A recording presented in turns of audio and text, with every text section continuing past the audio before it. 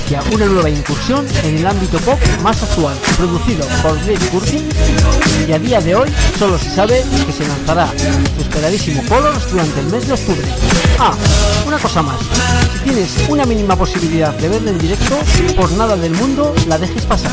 Es algo que no olvidarás fácilmente.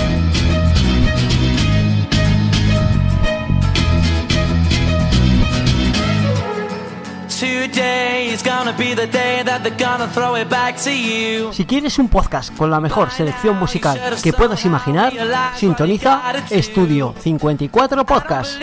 Cada 15 días y en formato podcast, la mejor selección musical que puedas imaginar.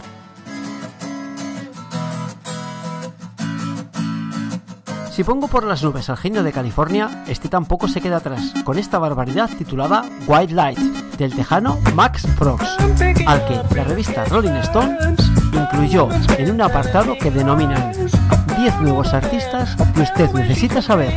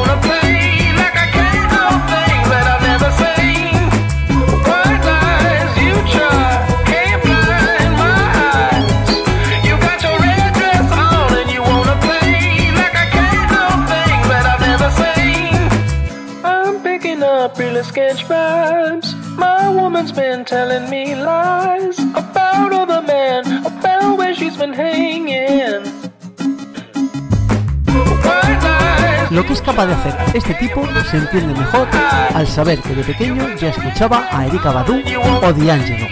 De todo ello le viene ese afán por incorporar elementos de hip hop inspirados en el blues con la idea de combinar ritmos modernos con tonos vintage clásicos en su música.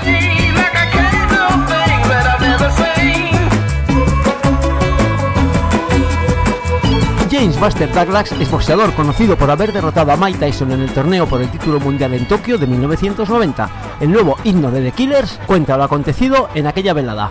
Tema que forma parte de su nuevo y esperadísimo trabajo titulado Wonderful Wonderful.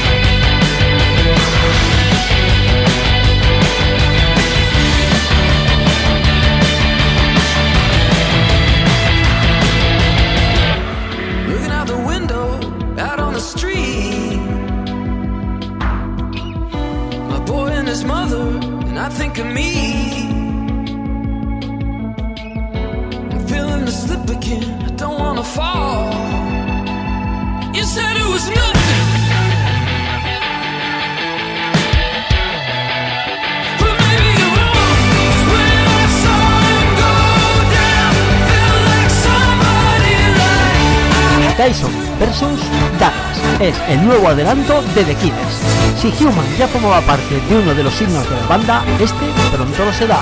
Tendremos que esperar para comprobar lo que trae este Wonderful Wonderful del grupo de Nevada liderado por Brandon Flowers.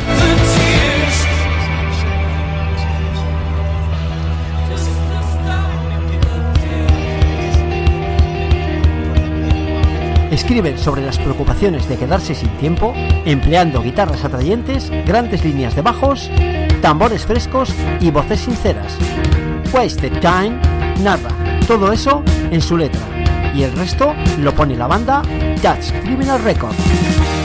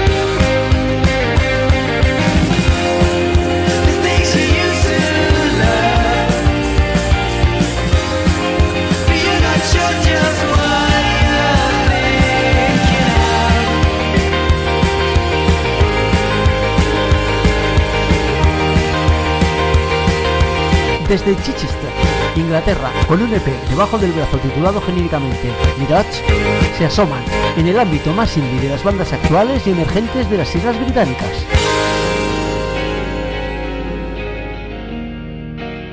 Todas las melodías con aroma indie del universo independiente. Descúbrelas en Estudio 54 Podcast.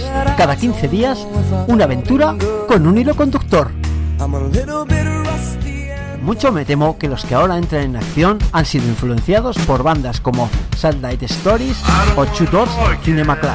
Ellos se dan a conocer como Little India y desde Canadá nos llega este Young Blood.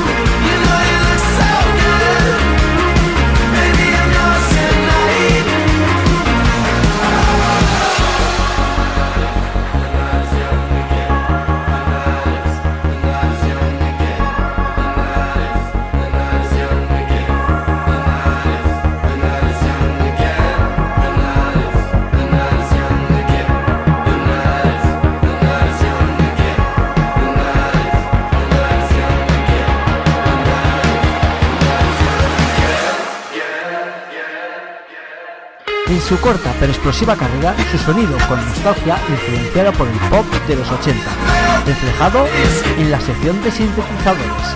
El cuarteto canadiense lanzó su segundo EP, Neon Jungle, un viernes 25 de noviembre, y eligió como single este Young Blood.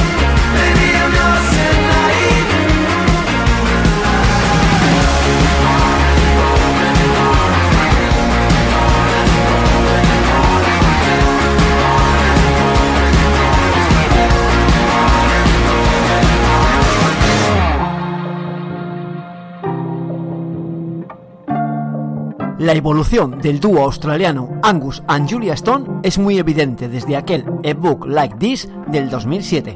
Han pasado 10 años y los hermanos han encontrado su sonido y están a gusto con él. Chateau pertenece a su más reciente trabajo, Snow,